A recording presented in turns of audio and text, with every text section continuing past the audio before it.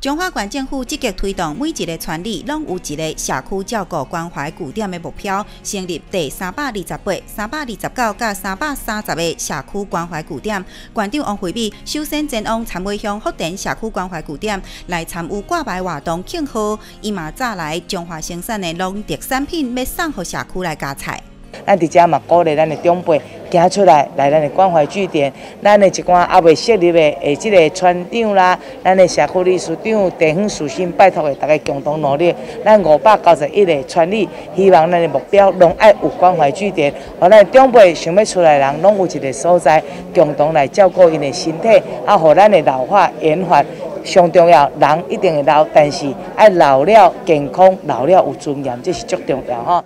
今日。吼，咱关怀据点成立了，吼，下摆阮会往县政府配合的方向，一工、三工、五工，吼，甚至于全力安尼做着上好的关怀据点服务。谢谢。王惠美馆长随后来到田中镇圣心社区甲新增社区关怀据点，来关心时大人的生活，鼓励这长辈会当多多行出户外，来到社区运动休闲，会当得到上佳好的照顾。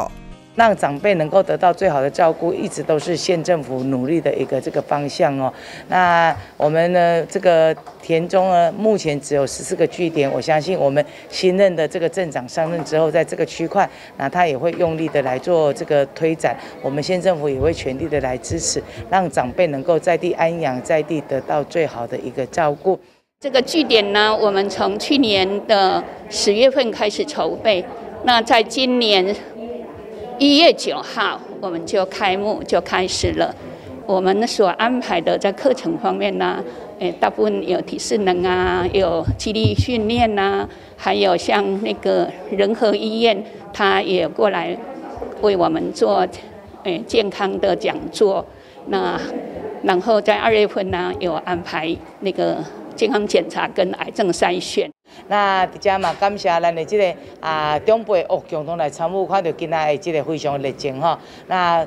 要活就是要动，走出来，让我们呢能够接收到新的讯息，啊嘛减轻着咱细碎的即个烦恼，啊，互咱呢啊会使呢，你是咱遮交更较侪朋友，啊暗时倒来厝里，甲咱的子孙享受天伦哦。要再次的感谢我们王县长，对于我们呃现在人口老化的问题哈，一直在我们每个社区都找一个关怀据点，那能够就近的照顾我们这些长辈们。伫遮吼，真正。感恩啊！感恩咱地方的所有时代吼，啊，这踊跃啊，这个关怀据点吼，啊，这啊踊跃来甲阮参与吼，啊，要火就要动啦！希望自这个关怀据点成立开始吼，未来对咱地方的时代，拢是真好的一个照顾。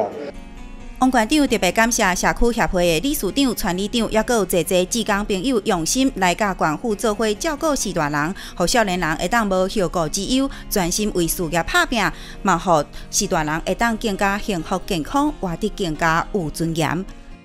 工业频道张华文林义俊参会店中采访报道。